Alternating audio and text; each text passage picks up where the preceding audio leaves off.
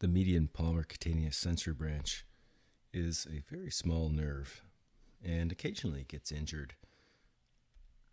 So let's have a quick look at this particular nerve itself and see what we can see. So here's an example of the normal median nerve in the wrist and I will point out the location of the palmar cutaneous branch of the median nerve. Right here. As we scan, this nerve then comes to here. It's the most radial fascicle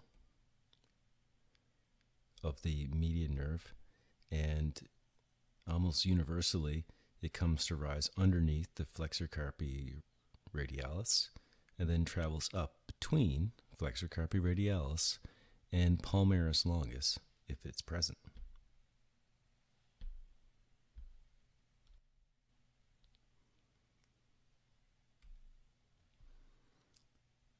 So here we go again. The most radial fascicle here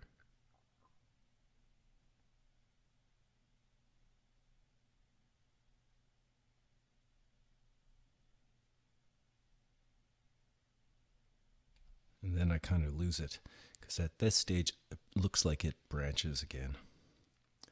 So there you have it, the median palmar cutaneous sensory nerve arising from the most radial aspect of the median nerve and piercing the superficial fascia between FCR and palmaris longus.